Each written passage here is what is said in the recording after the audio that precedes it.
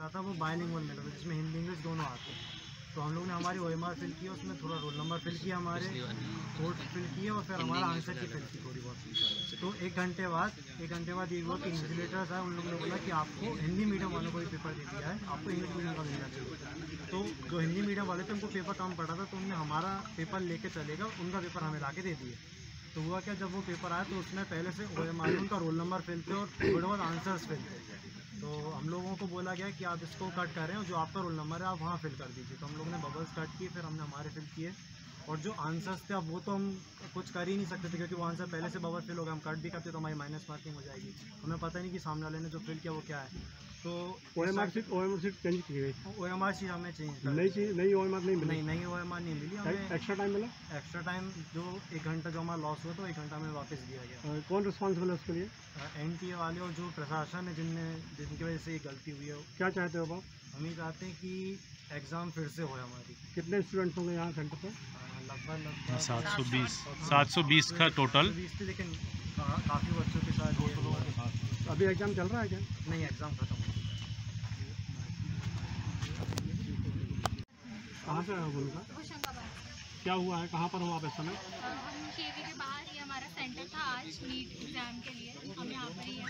यहाँ पे हमारे साथ ये हुआ है कि हमारा जो एग्ज़ाम था, उसमें बीच में हमारे से पेपर एक्सचेंज करवा दिए गए, क्योंकि ये प्रशासन की वजह से ये गलती उन्हीं की तरफ़ से थी कि उनने पहले ही गलत पेपर हम लोगों को दे दिए थे। हिंदी मीडियम के पेपर हमें दे दिए थे और इंग्लिश मीडियम के पेपर हिंदी मीडियम वालों को दे दिए थे। तो अब उनका हम लोग ऑलरेडी पेपर बहुत सारा सॉल्व कर चुके थे क्योंकि एक लगभग तीस से पैंतीस मिनट के बाद हमारे साथ ये हुआ है कि जब हमसे पेपर लिए गए हम ऑलरेडी बहुत सारा सॉल्व कर चुके थे। उन लोगों ने भी सॉल्व किया हुआ था। हमारे पास जो ओ एम आर आई है वो फ़ील्ड आई है। हमने जो भेजी है हमारे क्वेश्चन पेपर में सारी चीज़ें सॉल्व हैं क्योंकि हम क्वेश्चन पेपर में ही सॉल्व करते हैं। तो अब ये हुआ है कि हमारा जो सॉल्व है वो उनके पास चला गया और उनका जो सॉल्व है वो हमारे पास आया। हमें नहीं पता सारे क्वेश्चन अलग होते हैं। हमें नहीं पता कि उनने जो सही किया है या हमने जो सही किया है। हमें पता है कि हमने हमारा स्टूडेंट्स होंगे ऐसे? ऐसे 200 स्टूडेंट्स होंगे जिनके साथ इस तरह साथ ये चीज़ हुई है। और अब वहाँ पे तो हमें नहीं पता कि कैसे आर सीट आपको मिलेगी। नहीं हमें नई ओ शीट नहीं दी गई। हमें उसी में करेक्शन कराया गया काटा कटवाया गया रोल नंबर और नाम और हमें उसी में ही फिर से हम उसको कुछ चेंज नहीं कर सकते थे। ओ एम आर में पेंसिल से होता है नहीं ओ एम आर में पेन से होता है। पेन से। पेन से होता है और अब हमारे को हमें नहीं पता ना कि अब जो चेक होगा क्या चाहते- अब आप क्या चाहते है। हम चाहते हैं कि हमारा एग्ज़ाम हमें फिर से चांस दिया जाए और हमारा फिर से एग्ज़ाम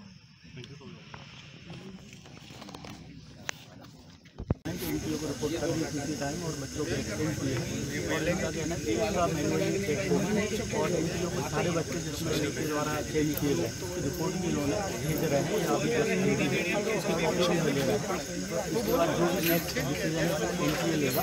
उसकी जो वैल्यूएशन है, वो किस तरीके से होगी ऑनलाइन होगी या ऑफलाइन होगी, या फिर बच्चों का एग्ज़ाम किस से कंडक्ट है करना है।